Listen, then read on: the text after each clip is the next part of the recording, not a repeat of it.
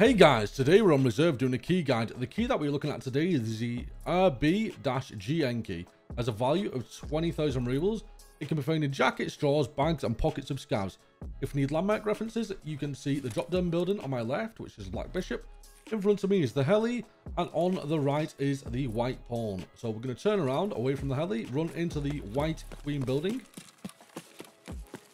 Go through this door, go through this door, make a left, go through this cage, make a right, go all the way down the stairs, go through this last cage, and then make a right turn.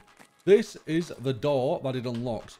Behind the door spawns two toolboxes with the possibility of FP100 filters, um, all fire seals, military batteries.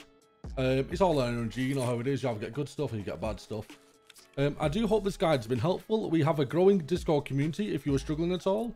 Or if you just want to come by and say hi, check us out at toxicbrit.gg. Thanks for watching. Don't forget to subscribe. Please like the video and turn on notifications. And I'll catch you in the next one.